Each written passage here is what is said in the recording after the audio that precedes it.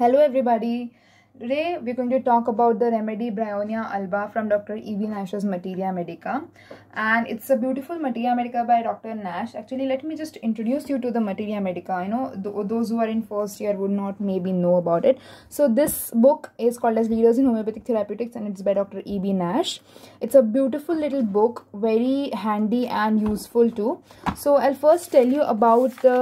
Um, the the way that the style that he writes in so Dr. E.B. Nash actually groups the remedies together and then explains them. So he has given such uh, um, such a list of remedies under a headings. Digestion remedies will have all these remedies. Mouth remedies is a group which has these remedies. Flatulence remedies. So there are trios which are famous. Okay, Nash's trio. So this is trio of flatulence which has cinchona, carbovis and lycopodium and this way it goes on. So it helps us in easy understanding you know we have a heading we have those remedies and he also differentiates the remedies amongst them so that we get a clear idea of the remedies. Okay so today we're going to talk about the same first group of uh, uh, remedies that he talks about in his own materia medica that is digestion remedies. And we'll going we are going to start with uh, bryonia alba. Okay i'll be i'll be like giving i'll be talking all that there is there in the in the book itself. I'll not be adding anything from my side so uh, dr eb nash actually writes uh, his book in a lecture format. It's not it's not like a heading and a para is given but it's like he's actually talking to you he's actually giving you a lecture. So it is not topic wise but i have uh, put it into some topics okay? I have like named the paras uh, by uh, like giving them a topic so uh, by giving them a heading and making a topic out of it so that you understand it easily that it's easier for us to discuss all right so the first topic is few important modalities so first he gives a, a leading characteristics that is modalities uh, what increases the complaints, what decreases the complaints or ameliorates the complaints in bryonia. That are those are the modalities. He gives a sphere of action and the symptoms produced by the remedies, disorders of the GIT and few special indications. So these are the topics under which we will study bryonia because Dr. Nash has given it in that way. Alright, let's get started. So Dr. E.B. Nash starts talking about bryonia by saying that in bryonia, the leading characteristic lies in its modalities. Okay? So it is the mo the most important symptom in bryonia. The most important thing in bryonia is um, the modalities of bryonia. Modalities means the factors which increase the complaint or which give relief from the complaints okay? The intensity might change because of these factors. So um, what are those the first one which dr um, nash very beautifully describes that three words express this modality that is aggravation from motion okay? And there's another modality amelioration from pressure. But right now let's first focus on the first one aggravation from motion.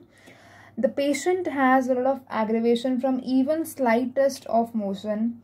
All of his complaints no matter what organ is affected what tissue is the seat of the disease what mucous membrane serous membrane or muscular tissue is affected but the patient will feel aggravated will feel worse from motion.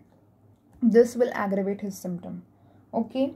Um, Dr. Herring in his guiding symptoms also mentions a long list of symptoms under the heading of aggravation by motion and even those that huge list of symptoms does not cover all the symptoms which do get aggravated by motion in bryonia so by understanding this you can realize the importance of this symptom because it is present in every every complaint of bryonia that is the importance of this. You shouldn't ever forget about this. Whenever your patient has aggravation from motion you should first think of bryonia okay? Until and unless you have a contraindication very prominently present in your patient the first remedy that should come to your mind should always be bryonia right? The longer the patient moves the more he suffers and rest will make him feel better. So the patient is ameliorated by lying still. And the second is amelioration from pressure. So pressure will make him feel better and that is also the reason why he wants to lie on painful side or part okay? Because the pre uh, pressure will be you know applied on the part that he lies on and that will make him feel better. So this is opposite of belladonna and kali cup. Belladonna and kali cup will get aggravated when they lie on the painful side or the painful part so next he explains the sphere of action and the symptoms reduced. So uh, Bryonia acts on a certain sphere, on certain types of tissues and produces a certain type of pathogenesis pathology and then uh, symptoms are produced so uh, let's understand about it. So the first thing that dr nash talks about is the action of bryonia on mucous membranes. But as i have told you that dr nash likes to compare remedies for better clearer understanding of the remedies he starts by differentiating bryonia with pulsatilla on the basis of this action on mucous membrane. Because both of these remedies have an action of mucous membrane but then how are they different? That is the beauty of homeopathy. Let's see how are they different. Bryonia when it acts on mucous membrane it produces dryness of the mucous membrane okay? It produces a lack of secretion in the mucous membrane. So the membranes will not produce a lot of exudate or will produce no exudate at all. But when we talk about pulse talk about pulsatilla pulsatilla will produce discharges will produce exudate and the character of discharges in pulsatilla will form the peculiar part of it. But in bryonia the peculiarity itself is the presence of no discharge or the lack of discharges, the excessive dryness. Alright, this excessive dryness in bryonia will be seen in all the mucous membranes, be it lips, be it the stomach, be it lungs, be it bronchi, every, every mucous membrane will have this excessive dryness. And that is why it is a characteristic symptom. Whereas in pulsatilla, there will be discharge. The character of the discharge, the peculiar thing about pulsatilla, the character of the discharge will be thick, bland and yellowish green okay so be it the nasal catarrh pulsatilla be it leukorrhea expectoration gonorrhea ulcers all of them will have these kind of discharges thick मतलब गाढ़ा discharge रहेगा yellow green colour का रहेगा और ये जो है उसका जो एक्सपेक्टोरेशन भी होगा ना एक्सपेक्टोरेशन का क्या मतलब है? तो पहले तो ये जो है, ये येलोइश ग्रीन कलर का डिस्चार्ज निकलेगा उसके नाक से या फिर उसका ल्यूकोरिया भी उसी रंग का होगा, उसका एक्सपेक्टोरेशन उस कलर का होगा। एक्सपेक्टोरेशन का मतलब है जो फ्लैगम निकलता है कफ करने के बाद मुँह से, उसको एक्सपेक्टोरेशन बोलते हैं। द म्यूकस और the phlegm gets out of your mouth when your cough out cough out okay that is expectoration So this is how Dr. Nash differentiates between bryonia and pulsatilla on this point. And further, he now speaks about bryonia in detail, uh, about this dryness of bryonia in detail. So let's go to that part now. So bryonia produces this excessive dryness. In the lips, it can be seen uh, because the lips are parched, dry, cracked. The lips are cracked, completely dry. Okay, in stomach, you can see it. Like, how will you know? That the patient has a dryness in the mucous membrane of the stomach. It will be very well evidenced by the excessive thirst that the patient has, right? So when he has excessive thirst, it means that the stomach mucous membranes must be dry. So it can be seen only and that this thirst can only be satisfied by large draughts of water, large quantity of water. This is a very famous and peculiar symptom of bryonia. Patient will have a thirst for large quantities of water at longer intervals. Alright, and in lungs and bronchi also the patient will have this excessive dryness and it will be seen because the patient has hard dry cough. So dry cough since there is no secretion produced with little or no expectoration. So expectoration is not there. We've already seen this lack of secretion. So there is no expectoration. And there is uh, another peculiar thing about bryonia. They have, they have soreness and pain in chest when the patient coughs. This is very characteristic of bryonia. This patient always holds this, uh, his chest while coughing because there's a there's pain in his chest when he coughs or when she coughs. So that is a very peculiar symptom about uh, bryonia. Natrum self also has this pain or soreness in chest, but uh, along with it, there is loose cough present, whereas in bryonia we saw that there is dry cough present okay now let's go ahead uh, and see the second point that uh, dr nash talks about is uh, it's it's about the action on the serous membranes. Okay bryonia is useful in the second stage of inflammation. Now what is the second stage of inflammation? Second stage of inflammation actually consists of vasodilation and exudation. So vessel blood vessels will dilate and that is why the contents of the blood vessel will leak out will um, come out forming the effusions. And therefore this is the stage of serous effusions now, we saw that bryonia is useful in the second stage of inflammation. So, what is what are the remedies that are used in first stage? So, those are aconite, belladonna, ferrumphos. You should remember this also. Aconite, belladonna, ferrumphos for the first stage of inflammation and bryonia for the second stage of inflammation. Then we go to the characteristic pains of bryonia, bryonia which are stitching pains so the pains are very stitching kind of what does stitching pain mean so they are kind of pain like it is like uh, the the skin is being punctured or whatever the part is affected is being punctured is being pricked upon again and again that is the kind of pain okay it is a sharp pain that is the kind of pain called as stitching pain तो अगर हम हिंदी में कहें तो चुभन सी होती रहती है बार बार बहुत शार्प पेन होता है तो ये होती है स्टिचिंग पेन तो ये आपको प्लूराइटिस मैनेंजाइटिस पेरिटोनाइटिस पेरिकार्डाइटिस कुछ भी हो जब सीरियस मेम्ब्रेन अफेक्टेड हो तो आपको स्टिचिंग पेन ही होता है नॉर्मली और इस रेमेडी में भी स्टिचिंग पेन पाया जाता है। इसलिए ये रेमेडी तभी बहुत काम में आती है जब सीरियस मेम्ब्रेन अफेक्टेड हो। ओके तो हमने तो ये देख लिया कि स्टिचिंग पेन होता है। तो और कौन सी रेमेडी में होता है, ये देखना भी इंपॉर्टेंट है क्योंकि डॉक्टर नैश बहुत ज़्यादा कंपैरिजन करते हैं, जिससे हमें अच्छे से समझ में आता है। तो कौन सी और रेमेडीज़ है? काली कार्ब है नैट्रम मूर है स्क्वीला है मर्क है। तो इनमें, अभी तो हमको पता चल कि इनमें भी स्टिचिंग पेन है, पर डिफ्रेंशिएट कैसे करें? तो डॉक्टर नैश हमको काली कार व ब्रायोनिया में डिफ्रेंशिएट करके बताते हैं। ब्रायोनिया का जो है stitching pains they are aggravated by least motion तो even slightest motion will aggravate the pains of bryonia but when we talk about kali carb the pain will be present whether or not the patient moves okay patient move करे या ना करे, उसको उतना ही दर्द होगा। स्टिचिंग पेन ही होगा, पर उतना ही होगा, कुछ फ़र्क नहीं पड़ेगा। पर ब्रायोनिया जो है, वो रेस्ट करेगा तो उसको थोड़ा बेटर लगेगा, पर थोड़ा भी मूव करेगा तो उसका पेन जो है वो बढ़ जाएगा। ऐसे करके हम डिफ्रेंशिएट कर सकते हैं। और ब्रायोनिया और काली कार्प दोनों में ही पेशेंट जो है they will cry out sharply with the pain बहुत ज़्यादा ज़ोर से वो चिल्ला के उठेंगे, रोएँगे वो दर्द की वजह से। Abhi when we talk about this symptom that they cry out sharply the other remedy that is present that is that has this symptom very prominently is apis. Okay it's apis. So apis also has this uh, symptom that the patient cries out sharply with pain uh, ज़्यादा करके वो hydrocephalus में हो जाता है इन patients में but uh, ये होता है उनमें।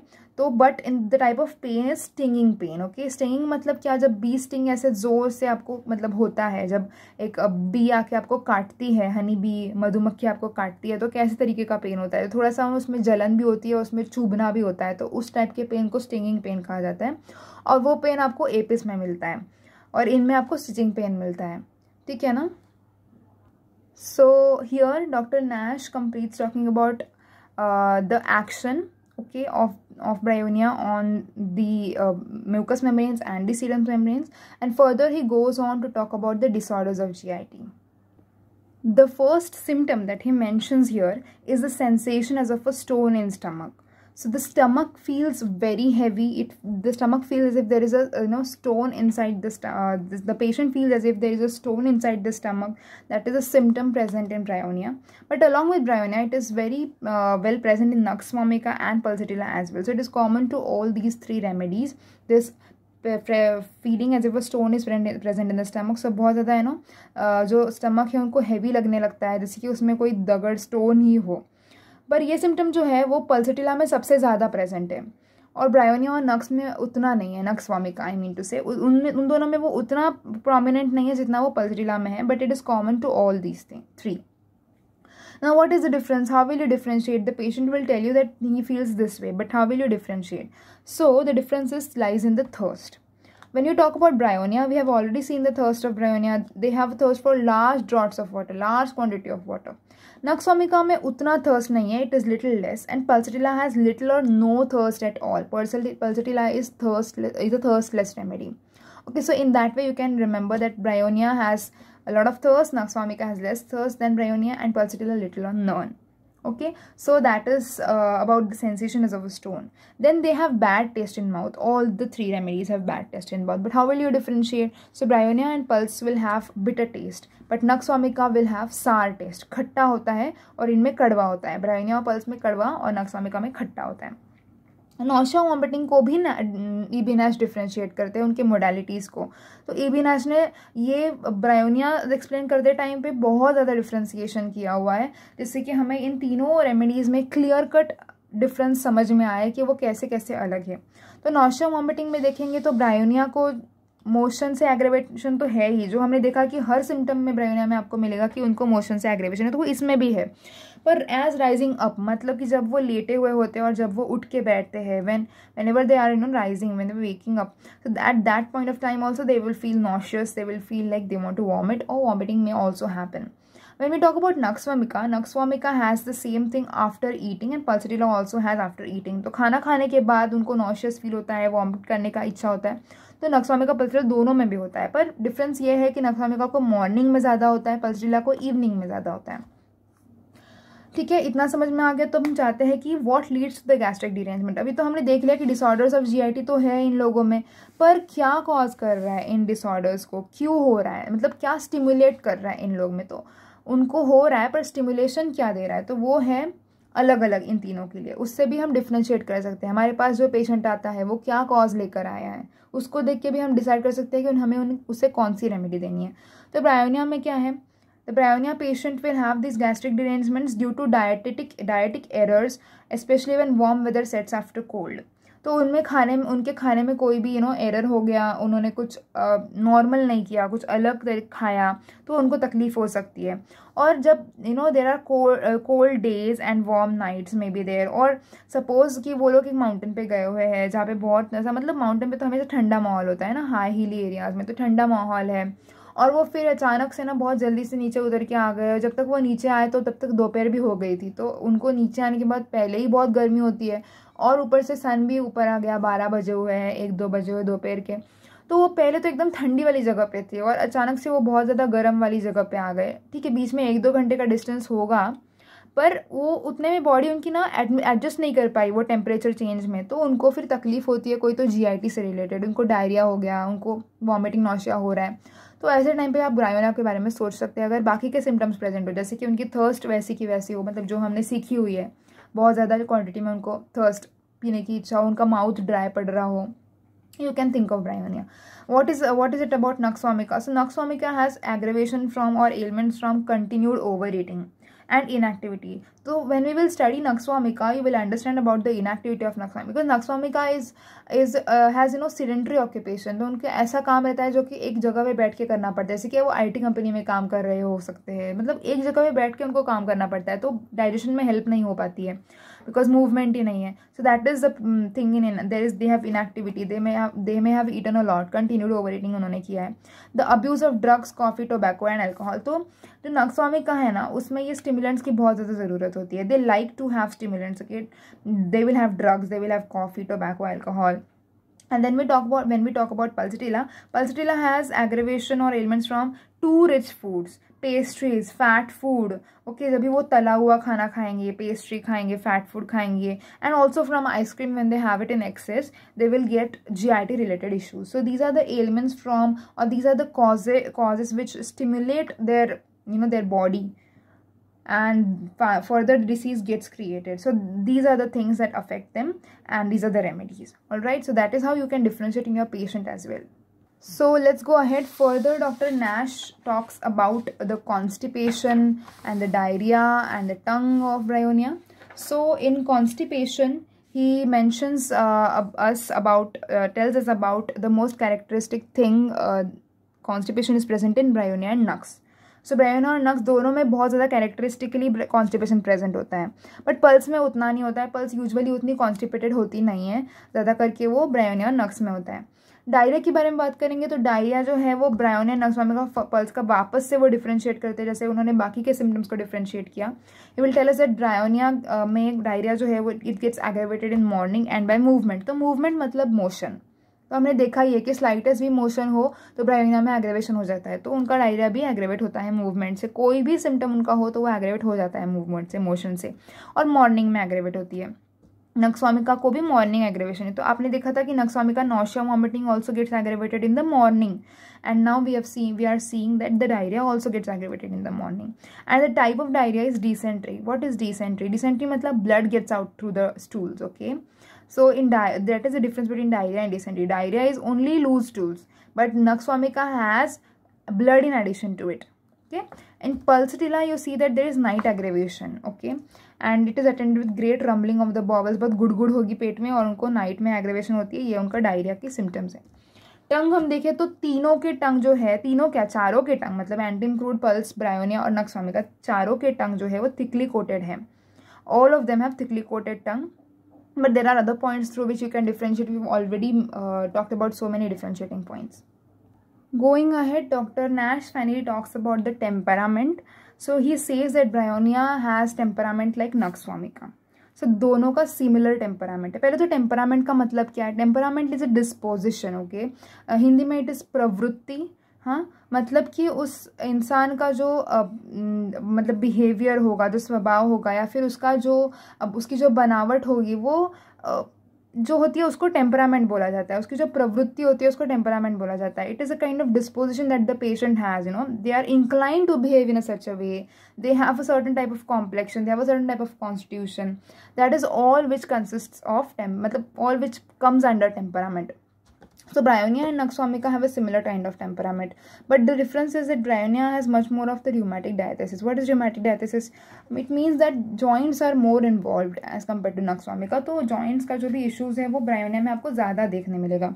But both Bryonia and Naxwamika are easily irritated or angered and are oftenest found sub, uh, indicated in spare dark complexion subjects. So they are बहुत ज़्यादा ना चिड़चिड़े होते हैं उनको गुस्सा बहुत जल्दी आ जाता है और आप उनको ज़्यादा करके देखोगे कि ये रेमेडी स्पेयर है डार्क कॉम्प्लेक्शन सब्जेक्ट मतलब पेशेंट्स में ज़्यादा करके अच्छे से आपको मतलब प्रूविंग में दिखाई देती है और बहुत ज़्यादा इंडिकेटेड भी हो सकती है। पर इसका मतलब ये नहीं है ये कोई हार्ड एंड फास्ट रूल नहीं है कि you have to use it in dark complexion person only so what whoever patient comes to you may he may be fair or dark presents to you with the symptoms that we have discussed up till now and we will discuss um, further in other videos uh, what other authors say about bryonia जैसे हम discuss करेंगे हमें समझेगा कि ये symptoms जो भी हम समझेंगे वो सिम्टम्स अगर किसी भी इंसान में आपको दिखाई देते हैं तो आप प्रायोनिया दे सकते हैं और वो वर्क भी करेगा नक्सवामी का भी दे, सकते हैं और वो वर्क भी करेगा। तो वैसा कुछ हार्ड एंड फास्ट रूल नहीं है बट या it is found mostly found indicated in spare dark complexion person तो उसके बाद में ब्रायोनिया नक्स दोनों दोनों जो है वो मोशन से एग्रेवेट होते हैं बट हमने जैसे देखा कि ब्रायोनिया में वो ज़्यादा कैरेक्टरिस्टिक है बहुत ज़्यादा लीडिंग कैरेक्टरिस्टिक है ब्रायोनिया का। वेल पल्स टीला में क्या है कि इट्स मोर लाइक रस्टॉक्स कि उनको मोशन से बेटर लगता है ठीक है पल्सटिला और रस्टॉक्स का सिमिलर है मोशन से बेटर लगता है ब्रेवनिया नक्सवामिका को मोशन से एग्रेवेट होता है इसके बाद में ईबी नैश जो है वो हमें कुछ स्पेशल uh, इंडिकेशंस बोलते हैं जिन्हें वो बताना चाहते हैं पर उन्होंने कोई स्पेशल uh, उसके लिए अलग से पैरा नहीं लिखा हुआ है उसका एक्सप्लेनेशन नहीं दिया है बट उन्होंने वो मेंशन किया हुआ कि उनको बहुत इंपॉर्टेंट लगते हैं तो वो हम बुक से देखते हैं तो इसमें यहाँ पे देखो वो देते हैं कि now a few special indications for bryonia and we will leave it so we will talking about bryonia after we uh, talk about these special indications. So what are these? So bursting headache मतलब ऐसा feel होता है जैसे कि sir जो है वो अभी फूटने वाला है उससे बर्स्ट होने वाला है।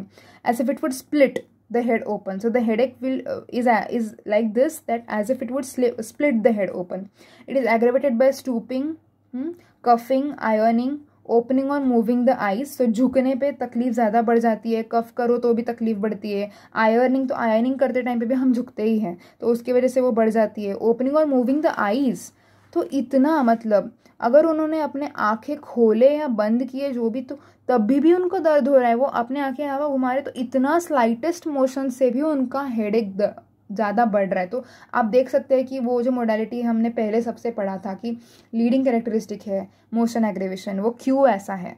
क्योंकि हेडेक जो है वो सिर्फ़ आइस के मूवमेंट से भी बढ़ रहा है। Moving any way any way and in hot weather वो भी हमने देखा कि गर्मी में, जैसे कि अगर वो सुबह ठंडे जगह पे थे, फिर गर्मी में गए। एनी वे इन जनरल गर्मी में उनको तकलीफ़ होती है। Nausea and faintness when rising up relieved when lying still rest से बेटर लगता है। Epistaxis instead of menses epistaxis का मतलब है नाक से खून आना। वो आ, उनको होता है इंस्टेड ऑफ़ मेंसेस मतलब जब भी उनकी डेट होगी मेंसेस आने वाले होंगे तो मेंसेस तो आते नहीं हैं पर उसकी जगह पे उनका नाक में से खून निकलना चालू हो जाता है। इसी को कहते हैं vicarious menstruation also blood splitting होती है मतलब एक्सपेक्टोरेशन जो है कफ के टाइम पर जैसे निकलता है वो डायरेक्टली ब्लड निकलता है। Okay then mastitis breast spell hot hard heavy and painful तो ग्लैंडुलर अफेक्शन भी है ब्रायोनिया में। इसके वजह से जो मेमोरी ग्लैंड है, वो अफेक्ट हो रहा है, उसका इन्फ्लेमेशन हो जाता है। And breast are pale hot hard heavy suppression of lochia with bursting headache can be seen suppression of milk menses measles और rash of scarlatina or where all these are slow in appearing, of course, the other brain symptoms must present. तो इसका मतलब क्या है?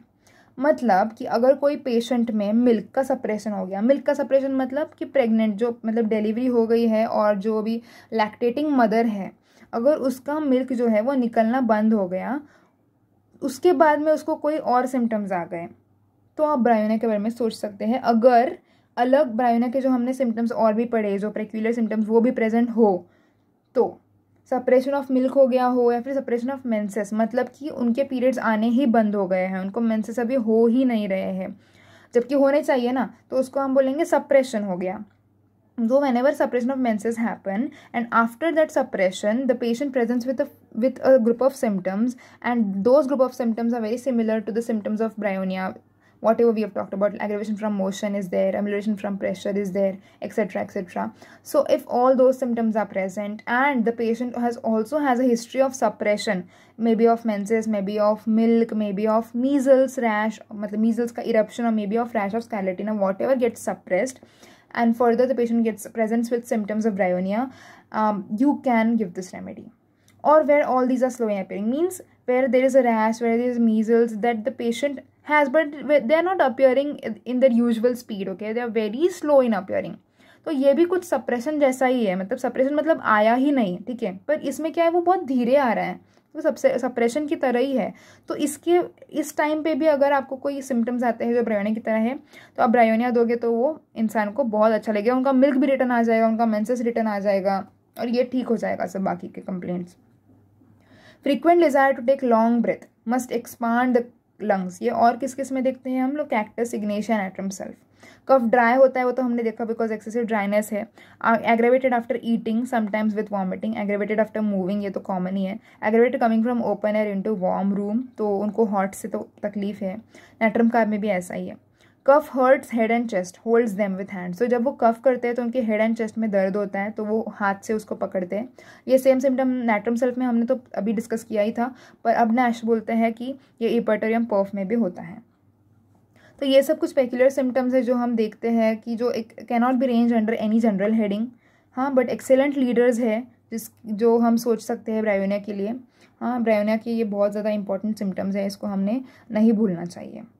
Alright, so this is what he talks about bryonia and we'll further talk about Nux vomica, about Antlim crude, about pulsatilla, what he says about all those remedies as well.